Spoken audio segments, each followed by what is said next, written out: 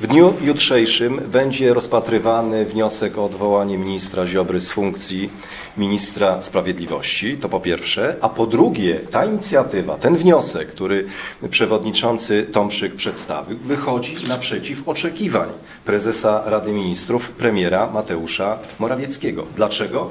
Dlatego, że te relacje między Solidarną Polską a PiSem, a w szczególności między premierem Morawieckim a Zbigniewem Ziobro od dłuższego czasu są bardzo napięte, mówiąc dyplomatycznie, mówiąc bardzo łagodnie. Wiemy, że to Zbigniew Ziobro blokuje krajowy plan odbudowy, a więc środki, na które czekają polscy przedsiębiorcy, polscy rolnicy, Polki i Polacy. Wreszcie to Solidarna Polska, w szczególności pan Zbigniew Ziobro, blokuje bardzo ważny kamień milowy, jakim jest przyjęcie ustawy 10H, a więc regulacji, która pozwoli na odblokowanie rozwoju energetyki wietrznej, energetyki wiatrowej w Polsce. A więc my tą inicjatywą wychodzimy naprzeciw oczekiwaniom pana premiera i oczekujemy, że w trybie pilnym zarówno pan Zbigniew Ziobro, najgorszy